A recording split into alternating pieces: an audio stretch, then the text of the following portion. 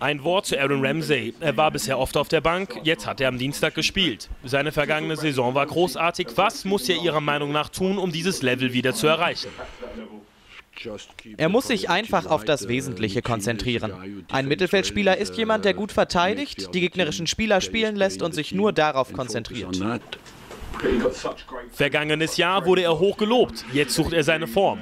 Wo ist das Problem? Ich denke, man sollte sich nicht so sehr davon leiten lassen, was die Leute sagen, sondern vielmehr von der Art und Weise, wie wir spielen wollen und wie generell gespielt werden sollte. Wenn du ein Tor schießt, aber schlecht spielst, sagen die Leute, dass du gut warst. Aber als Mittelfeldspieler muss man sich auf das Wesentliche konzentrieren. Gut verteidigen und gut angreifen, anderen Spielern Tore vorbereiten. Letztendlich geht es beim Fußball alleine darum. Es geht nicht um das Tore schießen, das kommt von ganz alleine, wenn man gut spielt. Zuerst muss man sich darauf konzentrieren, gut zu spielen.